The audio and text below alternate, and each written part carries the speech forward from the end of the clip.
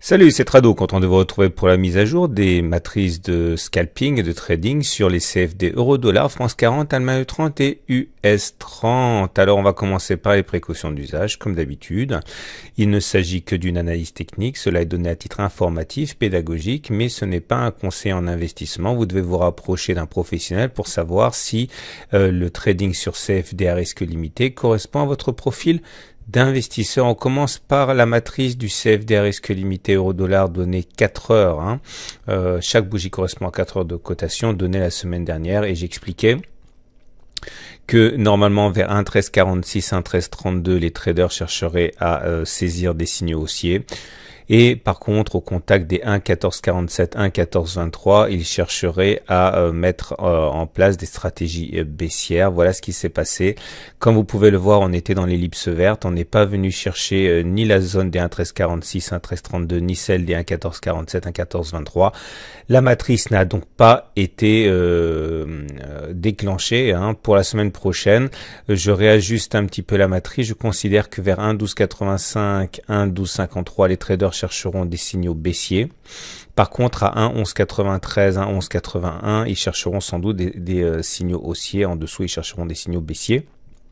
Pour France 40, en données 4 heures toujours, voilà ce que je proposais la semaine dernière. J'expliquais que tant qu'on était dans la zone des 5600, 5584, les traders chercheraient des signaux haussiers. Voilà ce qui s'est passé. On était donc dans la dans l'ellipse verte. Alors on est resté dans l'ellipse verte. Alors il y a eu euh, deux signaux, un signal assez euh, assez violent ici sous forme d'étoile du matin, bougie rouge, bougie verte, bougie verte comme ça.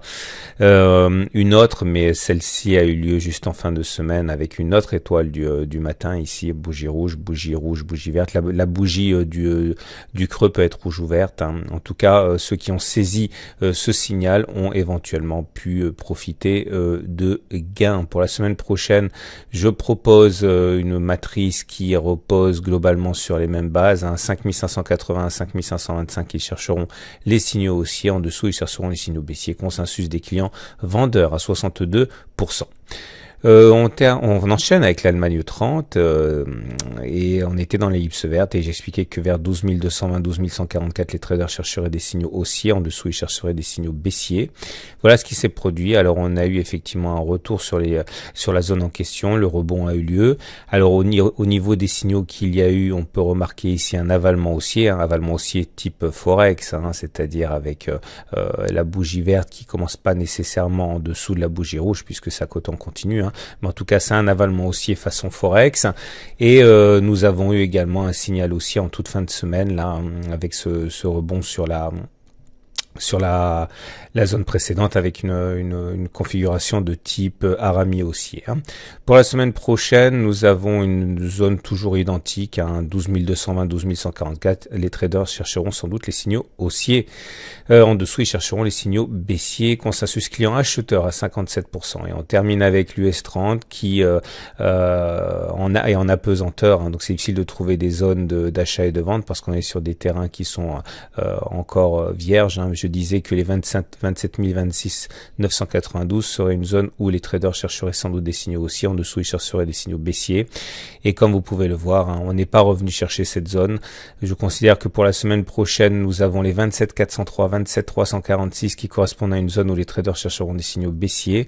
Euh, un retour sur les 27 026 992, ils chercheront des signaux haussiers. En dessous, ils chercheront des signaux baissiers. Consensus client, vendeur 70%. Voilà ce qu'on pouvait dire pour euh, Euh, je vous rappelle que si vous voulez ouvrir un compte de démonstration avec mon partenaire CMC Markets et bénéficier de 10 000 euros virtuels pour vous entraîner, il suffit de cliquer euh, sur la bannière. Je vous souhaite une excellente journée et je vous dis à la semaine prochaine pour la mise à jour.